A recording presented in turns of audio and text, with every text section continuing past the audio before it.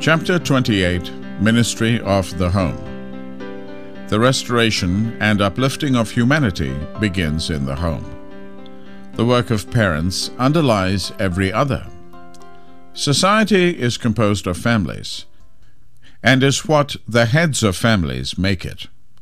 Out of the heart are the issues of life, and the heart of the community, of the church, and of the nation is the household the well being of society, the success of the church, the prosperity of the nation depend upon home influences.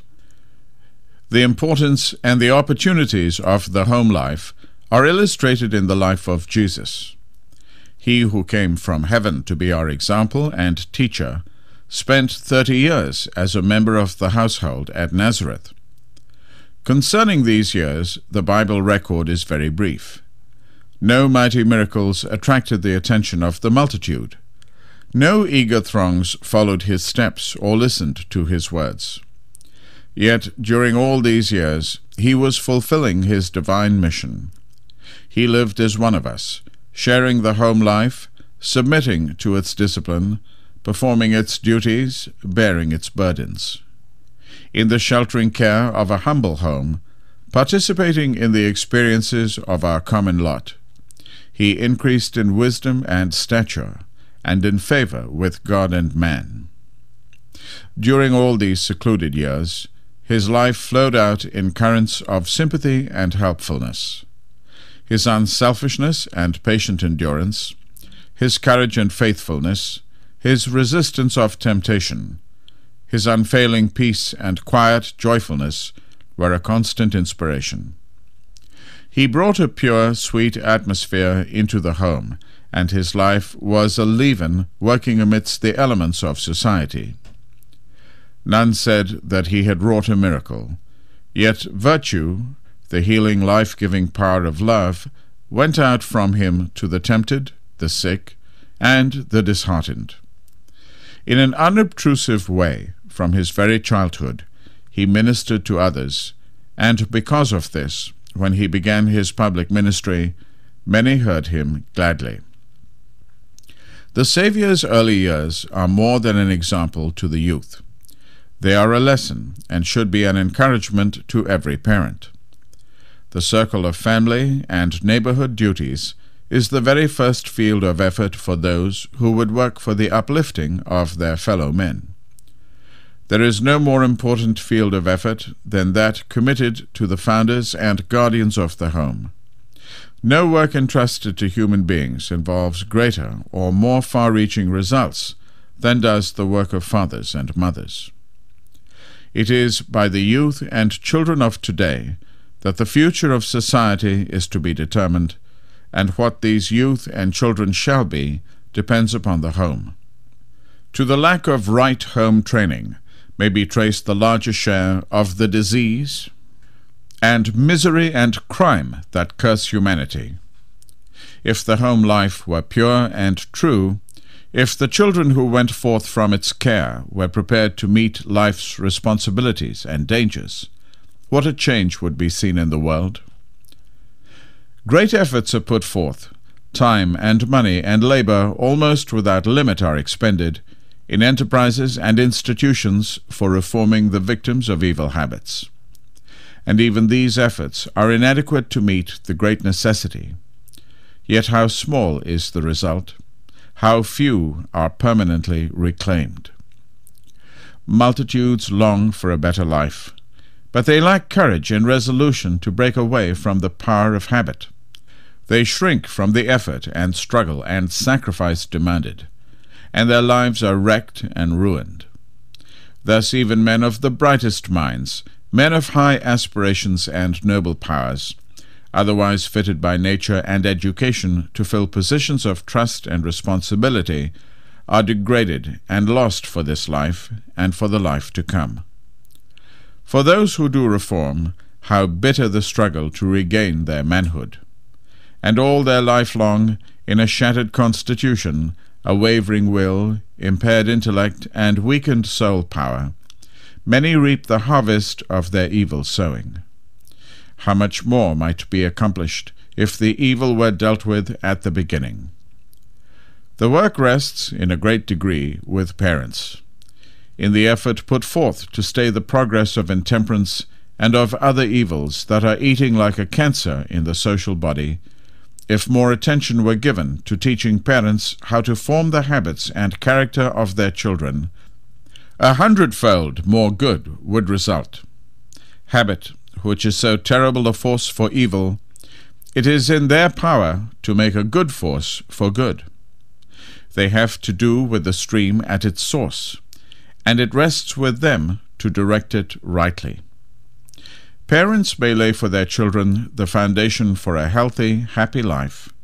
They may send them forth from their homes with moral stamina to resist temptation, and courage and strength to wrestle successfully with life's problems. They may inspire in them the purpose and develop the power to make their lives an honor to God and a blessing to the world. They may make straight paths for their feet through sunshine and shadow, to the glorious heights above. The mission of the home extends beyond its own members. The Christian home is to be an object lesson, illustrating the excellence of the true principles of life. Such an illustration will be a power for good in the world, and far more powerful than any sermon that can be preached is the influence of a true home upon human hearts and lives. As the youth go out from such a home, the lessons they have learned are imparted. Nobler principles of life are introduced into other households, and an uplifting influence works in the community. There are many others to whom we might make our homes a blessing. Our social entertainments should not be governed by the dictates of worldly custom, but by the Spirit of Christ and the teaching of His Word. The Israelites, in all their festivities, included the poor, the stranger, and the Levite, who was both the assistant of the priest in the sanctuary and a religious teacher and missionary. These were regarded as the guests of the people, to share their hospitality on all occasions of social and religious rejoicing, and to be tenderly cared for in sickness or in need. It is such as these whom we should make welcome to our homes. How much such a welcome might do to cheer and encourage the missionary nurse or the teacher, the care-burdened, hard-working mother, or the feeble and aged, so often without a home, and struggling with poverty and many discouragements. When thou makest a dinner or a supper, Christ says, call not thy friends, nor thy brethren, neither thy kinsmen, nor thy rich neighbours, lest they also bid thee again, and a recompense be made thee. But when thou makest a feast, call the poor, the maimed, the lame, the blind, and thou shalt be blessed. For they cannot recompense thee, for thou shalt be recompensed at the resurrection of the just. These are guests whom it will lay on you no great burden to receive. You will not need to provide for them elaborate or expensive entertainment. You will not need to make any effort at display. The warmth of a genial welcome, a place at your fireside, a seat at your home table, the privilege of sharing the blessing of the hour of prayer, would to many of these be like a glimpse of heaven. Our sympathies are to overflow the boundaries of self and the enclosure of family walls. There are precious opportunities for those who will make their homes a blessing to others. Social influence is a wonderful power. We can use it, if we will, as a means of helping those about us. Our homes should be a place of refuge for the tempted youth. Many there are who stand at the parting of the ways. Every influence, every impression is determining the choice that shapes their destiny, both here and hereafter. Evil invites them. Its resorts are made bright and attractive. They have a welcome for every comer. All about us are youth who have no home, and many whose homes have no helpful, uplifting power, and the youth drift into evil. They are going down to ruin within the very shadow of our own doors. These youth need a hand stretched out to them in sympathy. Kind words simply spoken, little attentions simply bestowed, will sweep away the clouds of temptation which gather over the soul. The true expression of heaven born sympathy has power to open the door of hearts that need the fragrance of Christ like words, and the simple, delicate touch of the Spirit of Christ's love. If we would show an interest in the youth, invite them to our homes, and surround them with cheering, helpful influences, there are many who would gladly turn their steps into the upward path. Life's opportunities. Our time here is short. We can pass through this world but once. As we pass along, let us make the most of life. The work to which we are called does not require wealth or social position or great ability. It requires a kindly, self-sacrificing spirit and a steadfast purpose. A lamp, however small, if kept steadily burning, may be the means of lighting many other lamps. Our sphere of influence may seem narrow, our ability small, our opportunities few, our acquirements limited. Yet wonderful possibilities are ours through a faithful use of the opportunities of our own homes.